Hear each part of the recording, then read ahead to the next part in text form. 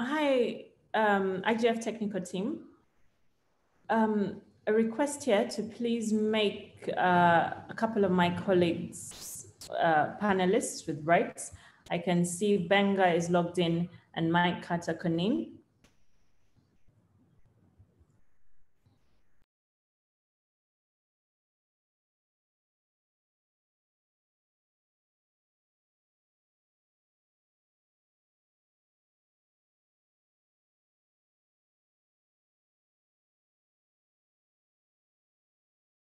Hello, hello, Ashna. This is Luis Bobo, United Nations. Uh, I am trying to help here. So, who, who are panelists? Sorry, we have three attendees. Mike Carter.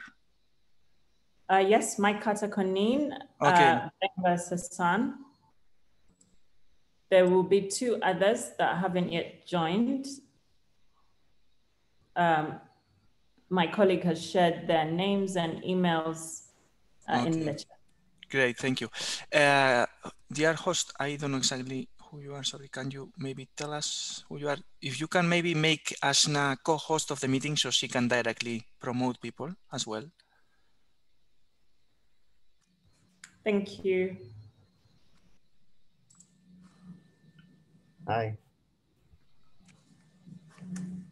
Okay, I'll, uh, I'll send a follow-up email to Edwin and Siggy to make sure they're still waiting.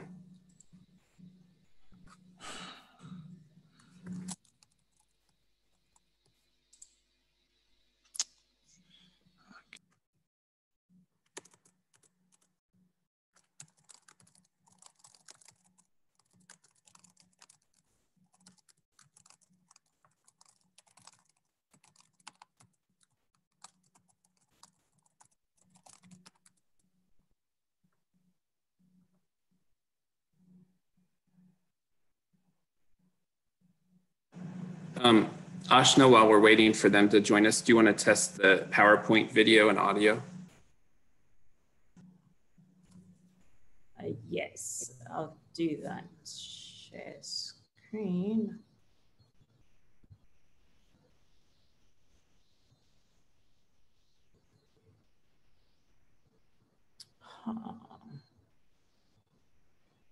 Uh, you can see my screen, right? Yes, uh, so go to slideshow at the top. Uh, do, do, do, do, do, do, do.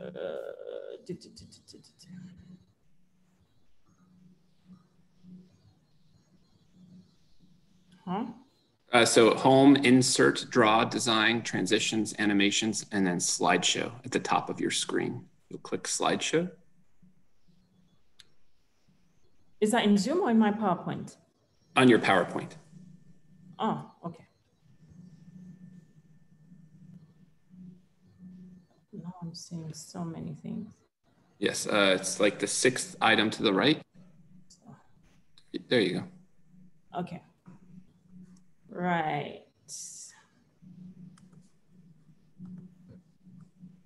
So we need to test the audio, yeah? Just one second. Yes. More than half a billion Africans access the Can you internet. hear that? That's more than all the very good. Awesome. Good job. Um, Siggy is uh, there as an attendee. She's one of our panelists to our IGF friend. If you could admit her as a panelist. Siggy uh, M.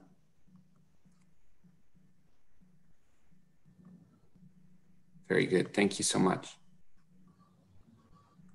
Hello, Siggy. Welcome to the other side. Hi. I was wondering how to unmute myself. How is Yes, everyone? Very good. Hi, Ashna. Hi, Benga. Yes, again. I see. Am I still sharing my screen? Yes, you are. Yes. Okay. My, there's so many options now. I don't know what to, just one second as I.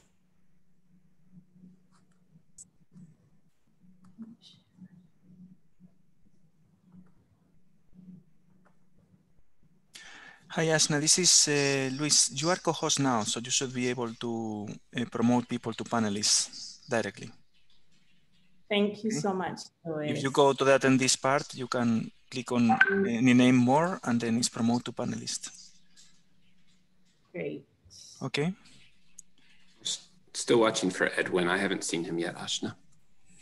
I have to leave you here. I have another meeting. Sorry, but how, Thank how- you. when we- Thank you for your assistance. No problem. You have here the host as well.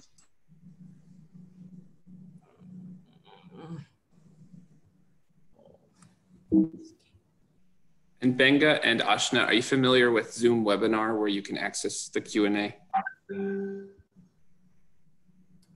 So at the bottom of the screen next to the share screen option, Done, looks like yes. Benga's, Benga's familiar. So we're in good hands, I think.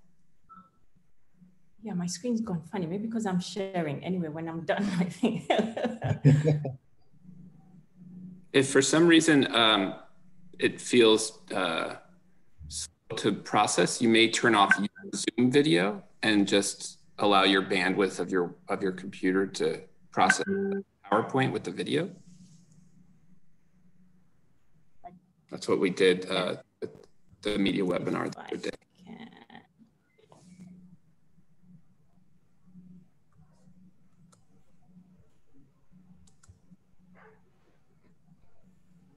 I almost couldn't recognize you, Sige.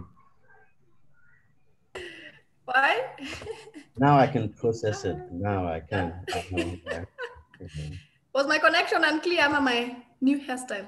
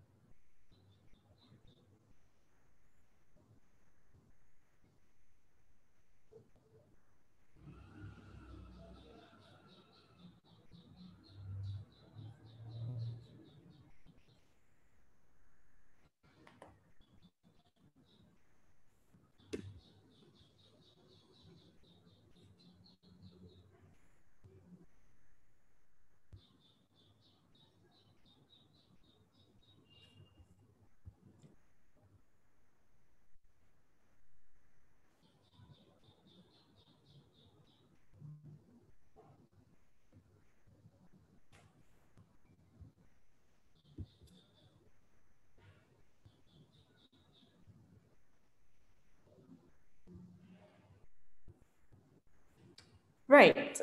It's one minute past the, the scheduled time for this session.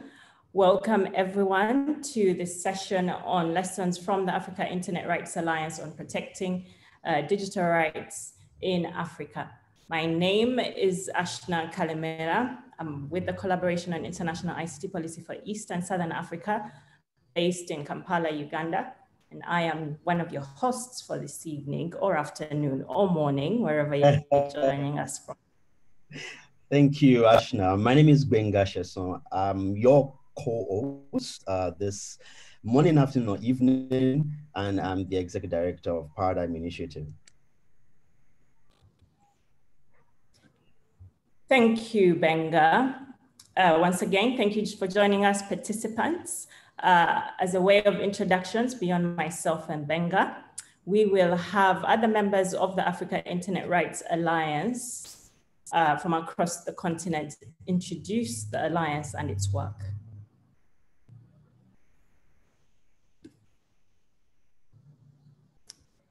Oh, now my screen share has disappeared.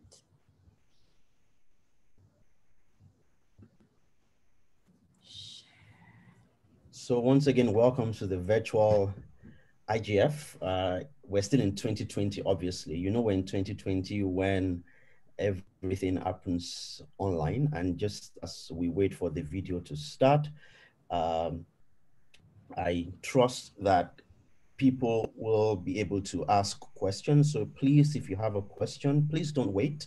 Uh, just go ahead and use the question and answer uh, function to post a question. It may be answered right there, or we may be able to attend uh, to it.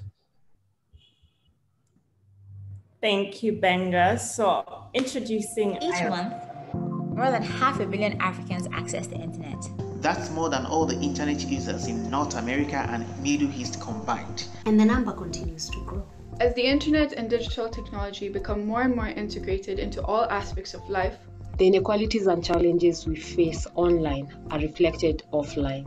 We face new challenges to our human rights in the digital context, including unequal access, censorship, and violence online. We, we must work, work together, together to ensure that everyone's rights are protected and respected. The African Internet Rights Alliance, AIRA, envisions an Africa where digital rights are upheld in all aspects of life, governance, and the economy, ensuring equity and prosperity across the continent. Our work is rooted in four values accountability, transparency, integrity, and good governance. Using these values as a guide, AIRA undertakes collective interventions and executes strategic campaigns that engage the government, private sector, media, and the civil society.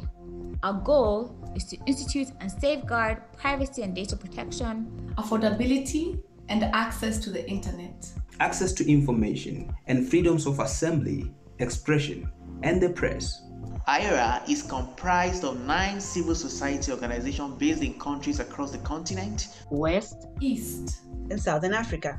These include Amnesty International, Article 19, Eastern Africa, BudgIT, Center for IP and IT Law at Strathmore University, Co-Creation Hub, CIPESA, KICTANet, Legal Resources Center, and Paradigm Initiative. We are building a movement to establish, advance, and protect digital rights for all on the African continent. So join us. Rejoignez-nous. Jiunge nasi. Join, join us.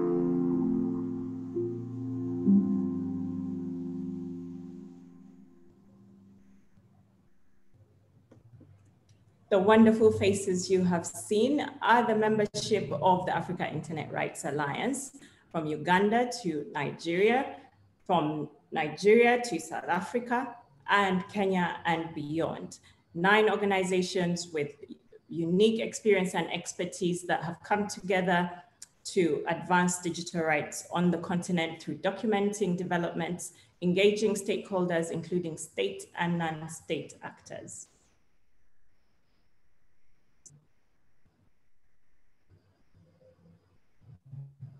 And the mission of AIRA, uh, as you can see, um, and as I'm sure you can almost tell from what you've listened to, uh, include the following. Apart, you know, we're collecting interventions and executing strategic initiatives to promote privacy and data protection, affordability and access to the internet. Of course, that's something that we all should be concerned about, uh, especially as we see lockdowns or even you know, post-lockdown, but during this pandemic, and people need to learn, work, and do everything online. Access to information and freedoms of assembly, expression, and the press. Some of the work we've done together uh, include writing and distributing uh, a digital rights terminology uh, document for journalists. And of course, in addition to that, we also hosted a webinar on digital rights, COVID-19, and elections across Africa. Uh, and I'm sure that everyone has heard stories from Tanzania, from Cote d'Ivoire, from Guinea over the last few days. Uh, this is the reason we have these conversations. We've also sent joint letters to the United Nations and the African Commission on Human and People's Rights uh, regarding at least two things. One is the Kenya uh, Computer Misuse and Cybercrimes Act, and the second is the Nigerian Cybercrimes Act. Uh, in addition to those, we facilitated, you know, a joint social media campaign aimed at governments who have unfairly uh, detained journalists We've supported the creation of the draft declaration of freedom of expression and access to information. And of course, we continue to engage with the media on digital rights challenges and opportunities from explaining what digital rights is, talking about some of the experiences in various countries to work in, to also asking that everyone should definitely be a digital rights advocate. For more so, on our, sorry, Benga, go ahead. No, I was just going to say, so uh, Ashna will take it home and tell you how you can contact us before we talk to another member of ours who is on this uh, chat with us. Over to you, Ashna. Thank you, Benga. So as he has indicated, you can read more about our work and our membership and hopefully join our movement uh, to establish, advance, and protect digital rights across the continent. Uh, on the web, we are www.aira.africa. On Twitter, we are at aira underscore Africa. Facebook, Africa Internet Rights Alliance, and we are also on LinkedIn. Thank you. I will stop sharing my screen now and move into the second half of this session where we will introduce our panelists and ask them to turn their videos on if they already are not on. Sigi and Edwin, there you are. So we have Sigi with us today, and Sigi is going to answer all questions, tough, not tough, and everything else. Sigi. Thank you, Ashna. So, maybe maybe I can say a bit about Sigi before we continue. Uh, she's a digital policy consultant at Article 19 East Africa. She was a fellow Google Policy Program and the African School on Internet Governance. And in 2019, she provided direct support, vice chairperson of the African Commission on Human and People's Rights, and directly contributed to the revised Declaration of Principles of Freedom of Expression and Access to Information in Africa, she is passionate about everything expression rights and their inter interdependence with other human rights and their lived implications. You can tell Sigi is excited. Yes, she is. And thank you so much for joining us, Sigi. Uh, our second panelist is having difficulty joining, but in the meantime, I think we will proceed uh, as we also welcome questions via the chat function. So Siggy, why digital rights? Why everything expression like Benga has indicated? What attracts you to this? Why not other human rights or other causes? There's very many of them. Thank you, Ashna, and uh, thank you, Benga, for that uh, for that fantastic introduction. Uh, hello to everyone. Um, uh, I think one of the one of the core mantras that um, the AIRA coalition has been um, pushing um, as early as um, you know the, the, the, early and mid 2000s is is um, is breaking down this perception that um, digital rights are separate and distinct from you know from this wide spectrum of, of, of human rights. And I think the core mantra that we have been pushing for is is you know just magnifying that digital rights are human rights um, and AIRA members have been advocating quite fiercely um, on this particular front across the, the African continent. Um, for the AIRA members, digital rights are the unseen, the nuanced thread that essentially ties um, um, all of these crucial rights together. And it, uh, as you mentioned earlier, it forms part of our part of the AIRA's um, uh, vision, um, where digital rights are upheld in all aspects of life, of, of governance, of the economy, uh, ensuring equity and prosperity across the continent. Um, I think one of the the one of my personal um, messages like, I, like, that I like hammering, not just to myself, but also to the stakeholders that we engage, is that digital rights have become a, a permanent feature of, of everyday events, of, of everyday life. Um, and you know we've seen this quite recently in countries, um, including Nigeria, and um, where uh, uh, many of, our, of, of the AIRA members are, are based.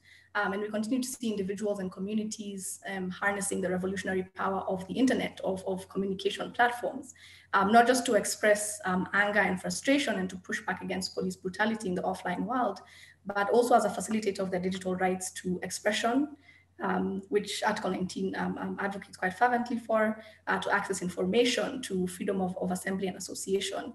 Um, and so, you know, to, to AIRA um, and to the, to the, to the uh, members who constitute AIRA, digital rights are not just instrumental because of what they permit, but also because of what they facilitate um, in the in the online and the and the offline worlds. And I think that this overlap and the enabling force is one of the core strengths of the, of the of, of digital rights. Um, and so, you know, just based on this picture, it becomes easier to understand why guaranteeing, why promoting, why um, um, fulfilling these rights um, is so crucial. Um, yes, I think I'll stop off yeah. my response of that. yeah, thanks. Thanks a lot, Sigi. So, um, Ashna, I'm going to ask you this question. Um, so, you have the pleasure of being uh, with CIPESA, which is the you know the coordinating organization for AIRA, and and the question is, so what what do you think is the benefit of our collaboration? What impact can this you know our partnership and other coalitions we work with on digital rights you know have when when we face multiple challenges from multiple actors? Because it's not just about government uh, there's also the fact that at times private sector is also a player in the halting economy so what have you seen as a coordinating organization and also as an expert in this area uh, regarding the benefits of collaborating? Uh, thank you, Benga. Uh, the organization I represent, its first word is collaboration, and we live and breathe collaboration at CIPESA. And for reasons that I'm sure everyone's familiar with, uh, collaboration, there are various synergies that partners bring on board uh, various experiences. It avoids duplication of efforts and efficiency in leveraging resources that are very often limited uh, in this space. Uh, there is an African saying or a saying, I don't know if it's really African, that if you want to go quickly, go alone. If you want to go far, go together. And um, that is as uh, relevant to the digital rights space as it is to any other human rights cause since you asked me a question, Benga, I will ask you the next. Um, I've said all the, the, the, rosy things about collaboration. Uh, what are the barriers or challenges in partnerships and coalitions uh, in advancing digital rights and uh, opportunities in uh, overcoming those challenges? Yes. Thanks, Ashna. So, I mean, I think there are three key things. Uh, one is trust, the other is resources, and the third is the people. Uh, in terms of trust, you need trust to be able to work together. Uh, one of the things that you know helps us at AIRA and any other coalition that Paradigm Initiative has worked with is that we're not just people who are interested in digital rights, but we've literally become friends uh, we trust the intention uh, of one another is to work towards a particular objective. So it becomes very easy for us to trust each other. Trust is the currency of, of, of collaboration. Uh, the other is in terms of resources, which also ties with the point of people, because uh, in a way, people are also resources. I mean, I, I love not to say people are resources because uh, you don't want to spend people or use people, uh, but in, in reality, uh, the fact that you know, we can marshal our resources. Uh, you know, Article 19 with CIPESA, with PAIN, with BudgIT, with CCOP can say, you know what, guys, we're interested in this one thing. Let's pull our resources together, you know, such that one plus one plus one plus one is not even four anymore, it's now 40. And that I think uh, is how, you know, so these are some of the challenges, you know, that, that we could have. If there's a lack of trust, uh, then there's a you know, an impossibility around collaboration. And if resources are limited or they don't exist, then there's a major problem. Uh, and in terms of people, if there are no, you know, individuals who are willing to champion this cause, because like they say, everybody expects somebody to do it. So nobody gets it done. And then we blame everybody.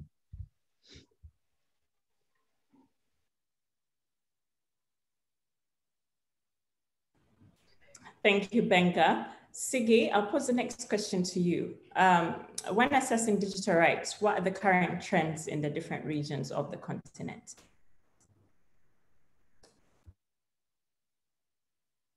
Sorry, I, I seem to have misplaced my, my mute button. Uh, thank you for that fantastic question, Ashna.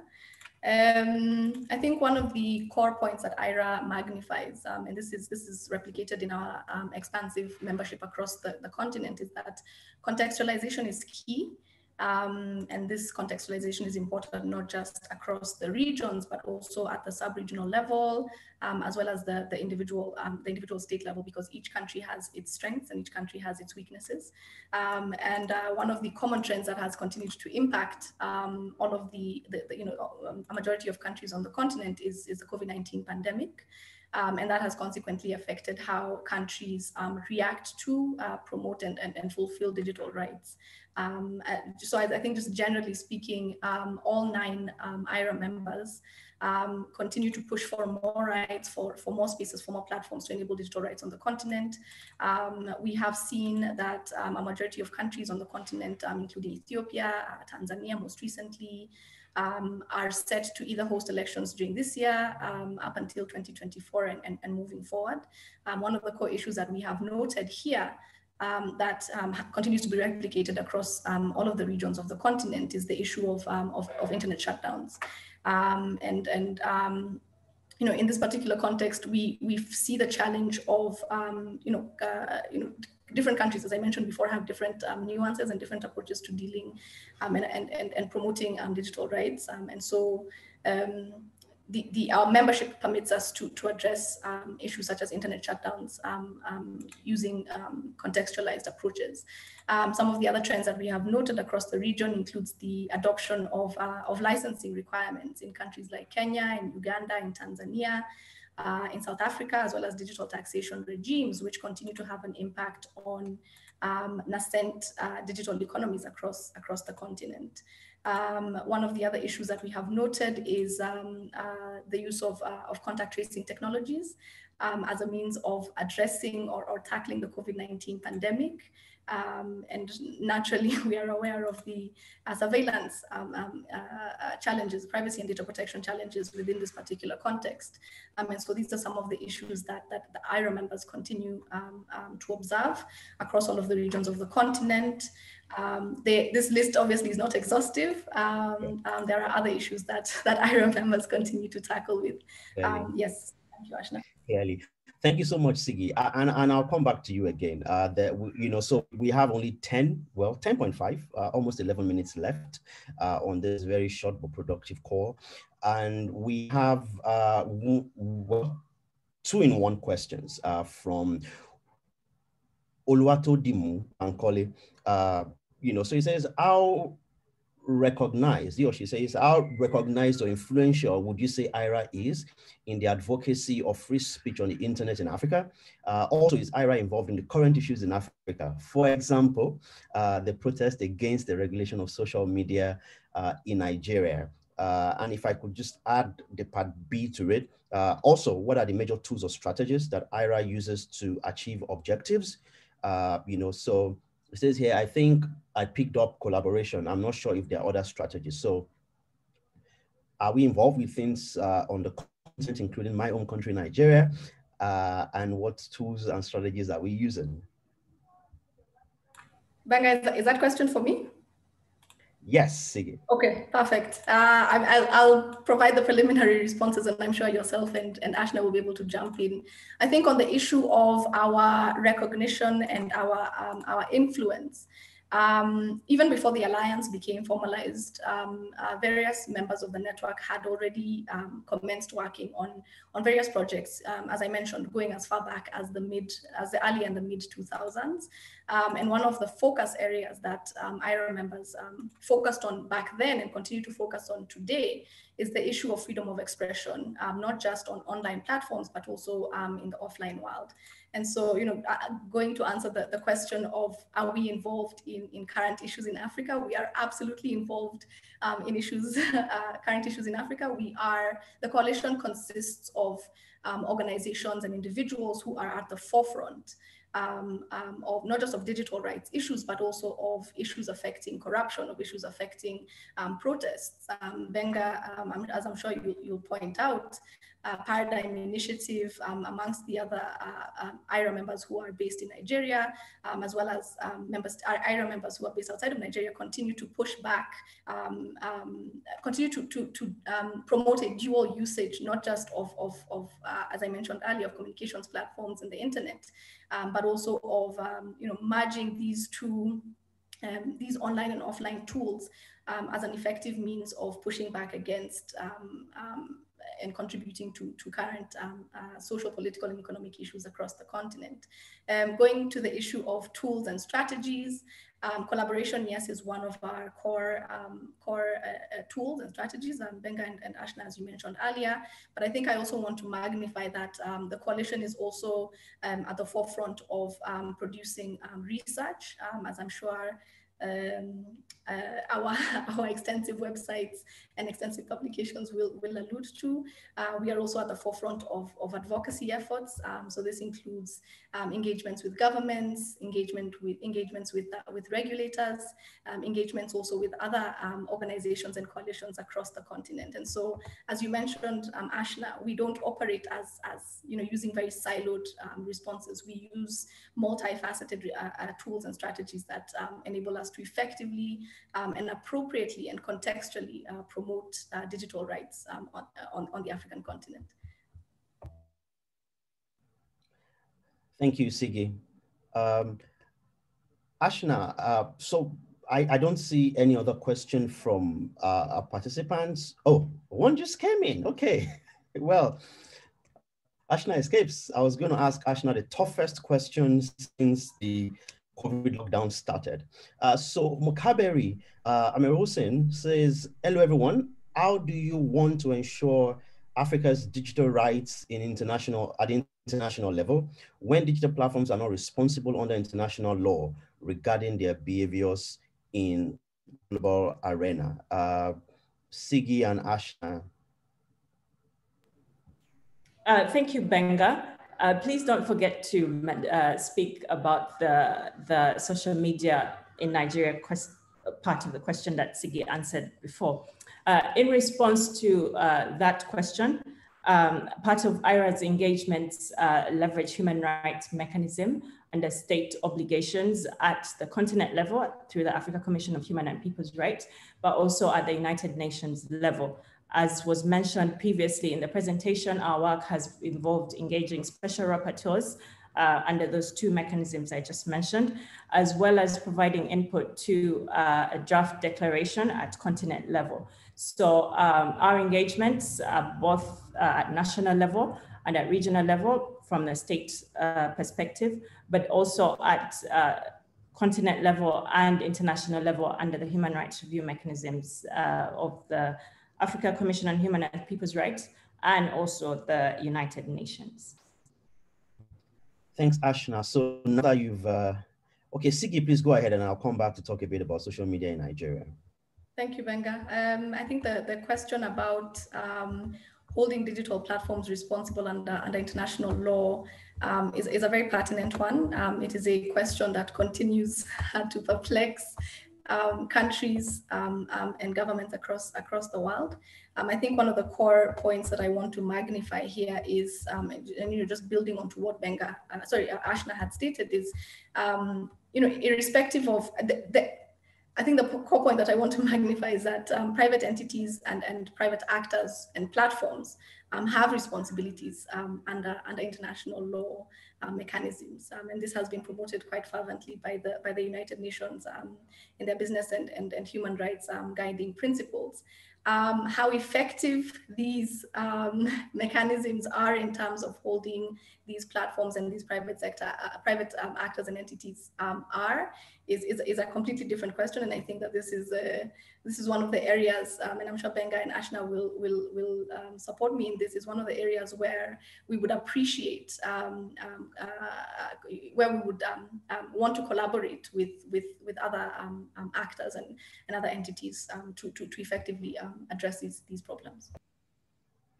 Uh, thanks, uh, and Sigi. So what I will do is I'll take one of those questions and then I'll combine that to, I'll use an example from social media regulation process in Nigeria. Someone has asked here, uh, Jazia says, how was the youth, how can the youth be more involved? Uh, because something I've noticed with civil society in Africa is that youth are not involved uh, if they're not specialized in that field. Let me use the social media regulation process uh, and the campaign against that in Nigeria as, you know, as an example here. Paradigm Initiative and other partners are providing information about the process, the issues, and the likely uh, solutions. And now, because young people are the ones that have the lived experience, what then what that then does is that they can take the information from organizations like Paradigm Initiative that are working on this and use that in their own way of voicing up and speaking up and saying, uh, we don't want social media controlled because we use it to learn, we use it to connect, uh, you know, and things like that. I'll say two things. One is that young people must not wait to be invited by civil society to get involved. It is your lived experience. So use the tools and resources available through civil society organizations to advance your cause. And the second is to say that uh, if you if you checked out the average age uh, of AIRA members, uh, it will be quite interesting. I mean, you know, just look at Sigi. you know, so uh, I, I may look on multiple side, but you can tell from Sigi involved. Uh, and uh, Ashna, do you want to take the question by our friend Consulate? Uh, was a question shared in the chat? Yes, it says, how do you plan to work with the African Commission on Human and People's Rights? Uh, do we plan to host sessions during the virtually or face-to-face? Um, as previously mentioned, we are already engaging with the Africa Commission on Human and People's Rights, where we provided uh, uh, statements or joint letters with regards to uh, problematic legislation in Kenya and in Nigeria. Uh, such engagement will continue, as will uh, our work um, in uh, making stakeholder submissions as part of the periodic uh, review mechanisms uh, that the Human Rights Commission undertakes uh, for every member state. Maybe I can just chime in uh, just to add on to what Ashna stated. I think one of the other components that I really want to magnify is, uh, as you know, just going back to the issue of the joint letters, that we're already engaging um, regional mechanisms. We're already, we're already engaging the African Commission's um, special mechanisms, especially the, the mechanism on uh, freedom of expression, access to information, um, and just building on the work that has already, um, that was done during previous periods in terms of contributing to the declaration, uh, but also in terms of um, um, promoting the implementation of this particular declaration, um, either as a coalition or as individual uh, uh, members across, across the continent. Thank you so much, Sigi. We are out of time. Very uh, fruitful conversations. Obviously, we could go on and on. Uh, but I'd like to thank you, Sigi, particularly for uh, being a panelist on the spot. Uh, thank you to my co-moderator, Benga, for becoming a panelist along the way. Uh, thank you to the audience. Uh, for participating and uh, attending this session. Please follow AIRA on Twitter, Facebook, and LinkedIn, where we can share more on our engagements and efforts and opportunities for collaboration. We are open to uh, engage with many more organizations and share news about the various developments on internet rights uh, across the continent. Thank you all so much. Uh, enjoy the rest of your days, mornings, evenings, and nights in some cases, and all the best to the rest of the IGF. Thank you. Thank you so much, Santa Sana. Thank you.